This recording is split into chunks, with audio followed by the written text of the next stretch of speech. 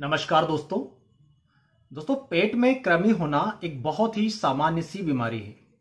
हम सबने अपने घरों में बच्चों में शिकायत देखी होगी कि उन्हें जीवन में किसी न किसी मोड़ पर पेट में कृमि होने की शिकायत पैदा हो जाती है। ऐसी कंडीशन में एलोपैथी में अच्छी मेडिसिन आती है, उनकी एक डोज देने से ही काफ़ी आराम लग जाता है। परंतु समस्याएँ ये होती है कि ये जो पेट के कृमि है, ये कुछ ही समय में वापस से पैदा हो जाते हैं। और ये जो हानिकारक एलोपैथिक मेडिसिन से हम अपने घर के बच्चों को बार बार नहीं दे सकते। समस्या आती है दोस्तों कि ऐसी कंडीशन में क्या करना चाहिए? मैंने पहले भी पेट के कीड़ों पर वीडियो बनाया है और उसमें आपको बहुत अच्छी मेडिसिन की जानकारी दी है। जनरली हम सभी होम्योपैथिक डॉक्टर जानते हैं कि पेट के कीड़ों के लिए सीना बहुत ही अच्छी मेडिसिन है। नो डाउट सीना के अच्छे रिज़ल्ट होते हैं, परंतु दोस्तों, आज आपको मैं एक रहस्यमय बात बता रहा हूँ। यदि पेट में कृमि जो अलग अलग प्रकार के होते हैं, जैसे राउंड वार्म होते हैं, थ्रेड वार्म होते हैं, टेप वार्म होते हैं, है ना? जैसे देखें तो एस्केरियसिस हेलमेंथिस टिचिनोसिस इस तरह से अलग अलग पेट में कीड़े पाए जाते हैं। इनमें दोस्तों जो राउंड वार्म होते हैं, उन पर सीना का सबसे अच्छा असर होता है। किंतु जो दूसरे तरह के वार्म होते हैं, उस पर सीना कोई असर नहीं डालती। आप इस बात को देखिएगा। ऐसी कंडीशन में मैं आपको आज एक बहुत ही फ़ेमस होम्योपैथिक डॉक्टर के कॉम्बिनेशन के बारे में बताने जा रहा हूँ। जो मुझे दोस्तों एक मध्य प्रदेश में एक जिला है गुना, वहाँ पर एक होम्योपैथिक डॉक्टर थे। मैं उनका नाम तो शायद नहीं याद कर पा रहा हूँ, परंतु वो बहुत अच्छी उनकी प्रैक्टिस चलती थी। एक्चुअली में उनके पास कोई डिग्री नहीं थी और केवल एक्सपीरियंस बेस्ड वो प्रैक्टिस करते थे। तो वहाँ से मुझे दोस्तों इस कॉम्बिनेशन के बारे में पता चला था और मैंने बहुत सारे मरीजों पर इस कॉम्बिनेशन को यूज़ किया है और इसके तुरंत ही रिज़ल्ट देखने में मिलते हैं। इसमें दोस्तों बेसिकली चार मेडिसिन को लिया जाता है। परंतु इसके पहले हम कुछ वार्म के बारे में बताते हैं। जनरली आप देखेंगे तो यदि बच्चों को पेट में कृमि पाए जाते हैं या बच्चों के अलावा बड़ों को भी पाए जाते हैं, दोस्तों तो बहुत कॉमन से लक्षण आते हैं। जैसे, बच्चों में यदि पेट में कृमि पाया जाता है दोस्तों तो उसे या तो भूख ज़्यादा लग सकती है या हो सकता है कि उसे भूख लगना बंद हो जाए, बहुत कम भूख लगे। पेट में गैस बनने की शिकायत हो सकती है। पेट में ऐठन या मरोड़ सी बार बार उठ सकती है। दोस्तों, बच्चा जो है, लगातार या तो कब्ज से परेशान रह सकता है या उसे बार बार दस्त से आ सकते हैं। बच्चा सोते समय मुँह से लार बाहर निकालेगा। कभी कभी आपको ऐसा लगेगा, ये मुँह से झाग जो है बाहर निकाल रहा है। एक्चुअली में झाग नहीं होता, वो थूक का एक थोड़ा सा जो है गुब्बारा टाइप जो है लिप्स के कोनों पर आपको बनता हुआ बार बार दिखेगा। उसे झाग भी बोल सकते हैं आप या थूक भी बोल सकते हैं। इस प्रकार के लक्षण दिखेंगे। बच्चा जब रात में सोएगा तो दांतों को किट किट किट किट सी आवाज़ आएगी, है ना? ग्राइंडिंग ऑफ़ टीथ बोलते हैं जिसे। बच्चा बार बार नींद में जो है, आपको कभी कभी झटके जैसा ले रहा हो, ऐसा लगेगा। कभी कभी कोई अंग जो है, उसके अचानक से कप कप आने लगेंगे थर थर आने लगेंगे। जब भी सोएगा बच्चा तो घुटनों को पेट की तरफ़ मोड़ करके सोएगा।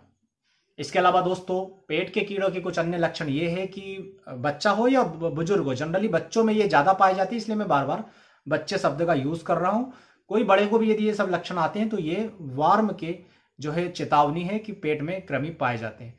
तो ऐसी कंडीशन में जिसको भी पेट में कीड़े हो रहे हैं, उसको एनस में, यानी कि गुदा क्षेत्र में बार बार ऐसा लग सकता है कि जैसे वहाँ पर कोई चीज़ सी रेंग रही हो, जिसके कारण वो बार बार उस जगह को खुजलाएगा। आप देखेंगे बच्चे जो है बार बार एनस को खुजली करते रहेंगे।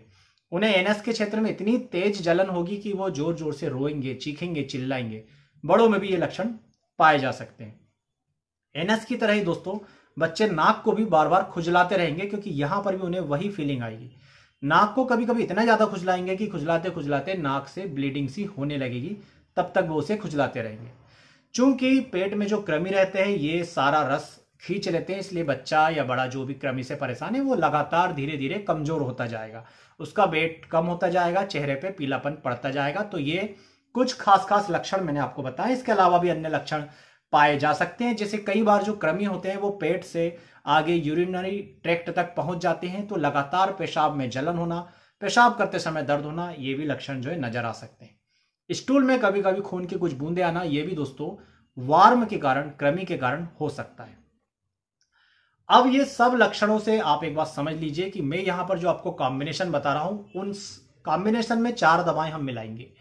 उन चारों की चारों दवाई में ये सभी लक्षण पाए जाते हैं, इसलिए हम इन लक्षणों को रिपीट नहीं करेंगे, ना ये बताएँगे कि किस दवा का क्या लक्षण है, क्योंकि उन चारों ही दवाओं में, ये जो लक्षण मैंने आपको अभी बताए हैं, ये सब पाए जाते हैं। किसी दवा में कोई लक्षण की तीव्रता ज़्यादा होगी, किसी में कम होगी, परंतु ये सभी लक्षण उन चारों दवाओं में पाए जाते हैं, इसलिए इन चारों दवाओं को हमने कंबाइन करके इस मिक्सचर में लिया है, ताकि ना केवल राउंड वार्म बल्कि थ्रेड वार्म और टेप वार्म सभी प्रकार के वार्म इस मिक्सचर से खत्म हो सके।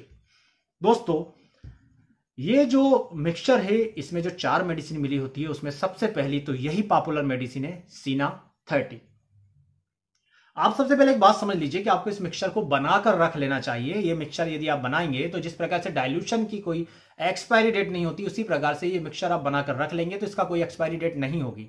यदि आपके डाइल्यूशन पर कंपनी ने पाँच साल की एक्सपायरी डेट लिख करके भेजा है तो याद रखना उस डाइल्यूशन से बने हुए मिक्सचर की भी एक्सपायरी डेट पाँच साल रहेगी।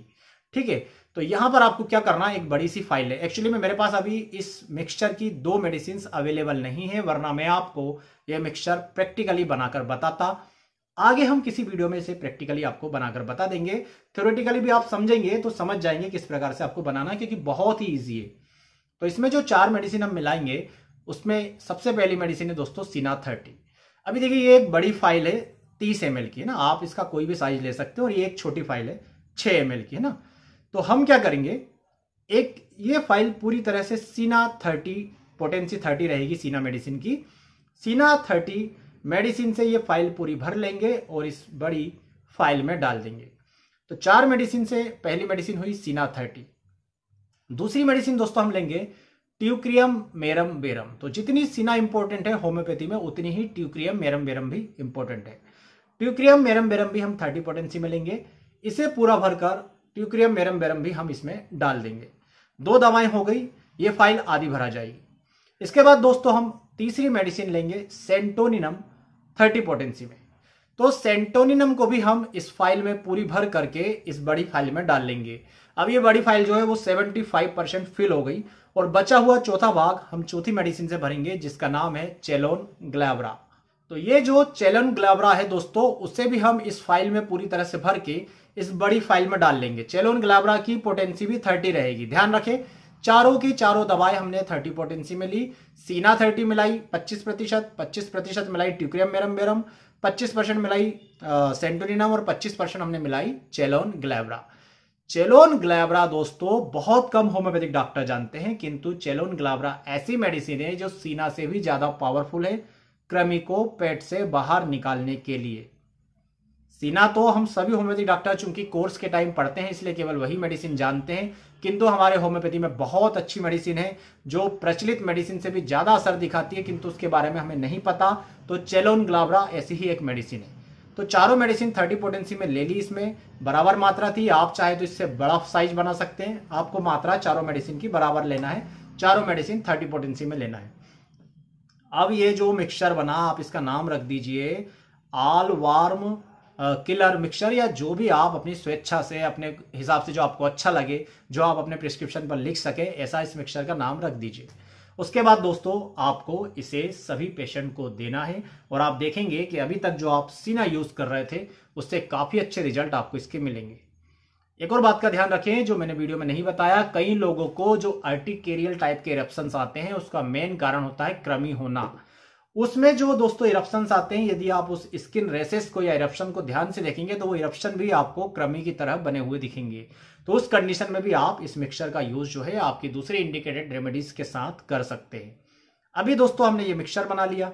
अब इस मिक्सचर को बनाने के बाद इसका यूज़ कैसे करना? देखिए दोस्तों जनरली होता क्या कि एलोपैथी में जो हम एलवेंडाजोल मेवेंडाजोल वगैरह यूज़ करते हैं, वो एक साल या दो साल से छोटे बच्चों के लिए थोड़ा सेफ़ नहीं होता। दो साल से ऊपर तो सभी यूज़ करते हैं। आपको करना क्या है?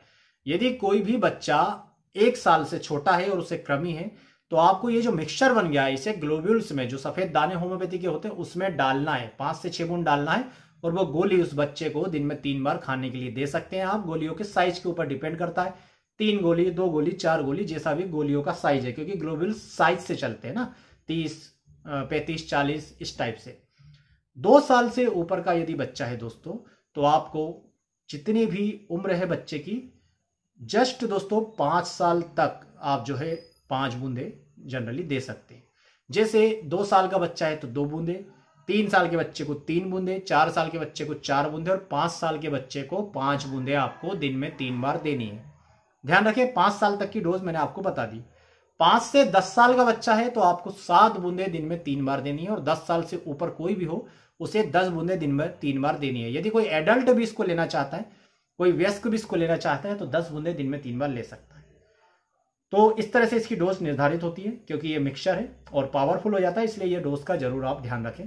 और इस मिक्सचर को बनाकर अपने पेशेंट पर यूज़ करके इसी वीडियो के नीचे कमेंट बॉक्स में ज़रूर बताइए कि इसके रिज़ल्ट आपको क्रमियों के लिए कैसे लग रहे हैं। हम इस मिक्सचर को दोस्तों वहाँ भी यूज़ करते हैं जहाँ पर कई बच्चों को क्या होता है क्रमी के कारण चेहरे पर हल्के हल्के धब्बे से नज़र आने लगते हैं। स्किन का कलर थोड़ा सा लाइट हो जाता है।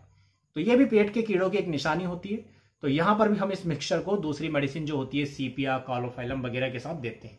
मतलब इस मिक्सचर को हम उस जगह पर यूज़ करते हैं जहाँ पर हमें थोड़ा सा भी डाउट होता है कि मरीज़ के पेट में कीड़े हो सकते हैं। तो उसकी एज के हिसाब से दो से लेकर पाँच और पाँच से लेकर दस बूंदे दिन में तीन बार देते हैं। थोड़ा सा यदि ड्रॉप आगे पीछे हो जाता है तो आपको डरने की ज़रूरत नहीं है। सेफ़ मेडिसिन है, किसी प्रकार की कोई चिंता करने की ज़रूरत नहीं है। परंतु ये मैंने एक आइडियल डोज बताई है जो आप आपकी समझ के हिसाब से कम भी कर सकते हैं, ज़्यादा भी कर सकते हैं। कोई आपको विचलित होने की कोई समस्या की आपको आवश्यकता नहीं है।